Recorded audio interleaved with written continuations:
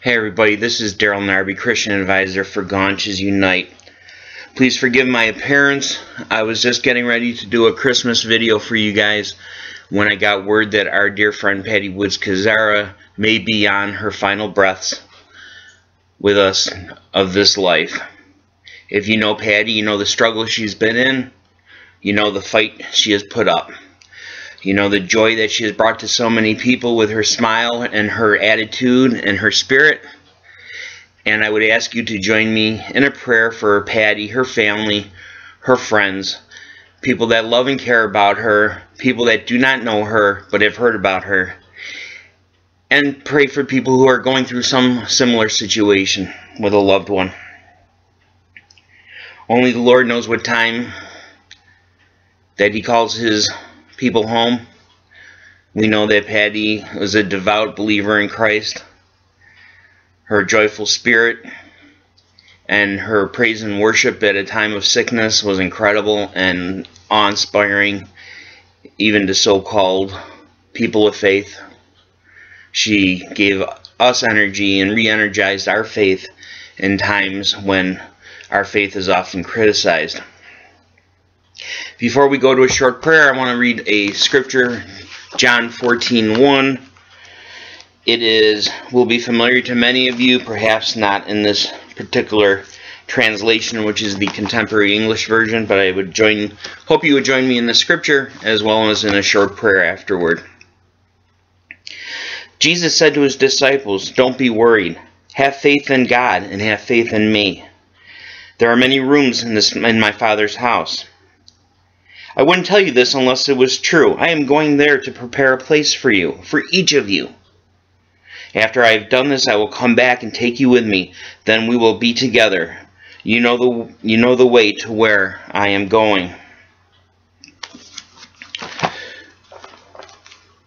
Within the Christian faith, the belief of Jesus Christ as our Lord and Savior, the light of the world, we know that Patty will have her spot, certainly in heaven. In this time of Christmas, when we celebrate the light of the world coming into the world through the birth of Jesus Christ, we may be mourning and celebrating a life passing, a light that was a person that was a light in our world and can, will continue to be a light in our world as, as a sign of never giving up and faith. Join me in a short prayer. Dear Heavenly Father, we come to you and we pray for our friend Patty. Such a beautiful child of you.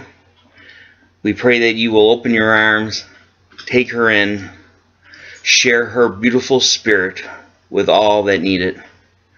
Lord, we pray for this time of mourning for the friends and family of, of Patty who will deeply be saddened by her loss. And we pray for the family and the children. We pray for everyone that they have a good time, a good amount of time to mourn.